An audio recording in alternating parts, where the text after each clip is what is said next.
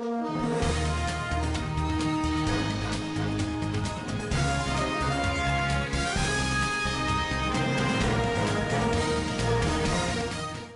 week, it came out that Bona Mugabe, the only daughter of Zimbabwe's first president, Robert Mugabe, owns a lot of land in Harare's best neighborhoods, 21 farms, a $8 million mansion in Dubai, and a whole fleet of luxury cars. Even more. When the assets were brought up in the divorce case between the younger Mugabe and her ex-husband, Simba Chikore, who used to be an airline pilot. People in the southern African country got very angry. Mugabe, who is 33, has been married to Chikore, who is 46, for 9 years. But earlier this year, Mugabe asked for their marriage to be cancelled, saying that they couldn't get along.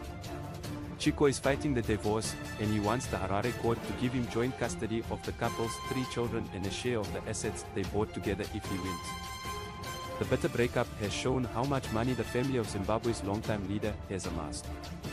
According to court documents seen by Al Jazeera, the ex-family president owns a $80 million real estate portfolio.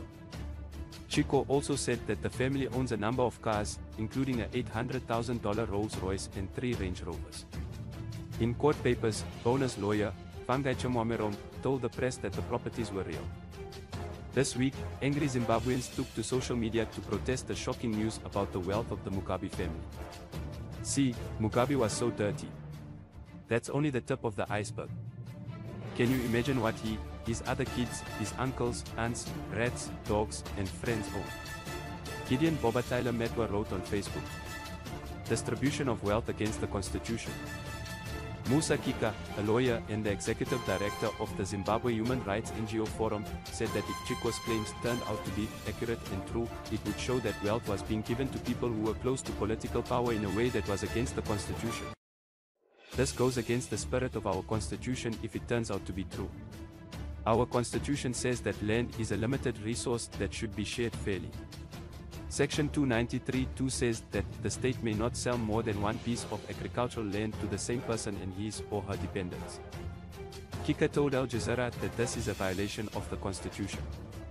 He says that the word alienate refers to both renting out land and selling it. Forms bottom. Stephen Chuma, the youth interim spokesman for the Citizens Coalition for Change CCC, which is Zimbabwe's main opposition, said that the divorce case proved that the land reform exercise was never about the landless majority but was meant to enrich leaders of the post-colonial state. In the early 2000s, the older Mugabe ran a controversial campaign called Land Reform. He took land from white farmers and gave it to landless blacks. Critics said at the time that he gave the lots to friends and allies. And the same thing is being said again. The ZANU-PF, ruling party, looting committee, has thrown out the one-man, one-farm idea, Chuma told Al Jazeera. Looting par excellence. The latest news comes just two weeks after a shocking Al Jazeera documentary showed that people with ties to Zimbabwean government officials and the ruling party were smuggling large amounts of gold. Al Jazeera's investigative unit I-Unit made the four-part documentary The Gold Mafia. It was based on dozens of undercover operations that took place on three continents and thousands of documents. President Emmerson Mnangagwa overthrew the late strongman in a military coup in 2017. In the past few months, he has been under a lot of scrutiny, and some people are questioning what role he played in the gold looting scandal. A cleric named Ambassador by Mnangagwa, Uebert Angel, was caught on camera offering to use his diplomatic position to help Al Jazeera undercover reporters pose as Asian reporters and smuggle millions of dollars and wash the money. Some Zimbabweans are now calling for similar investigations to find out how Mugabe's daughter came to have so many assets. Simba did the right thing by putting those properties on the list as a settlement plan. But it did let the world know something, said Karika Mazara, who used to be in the media.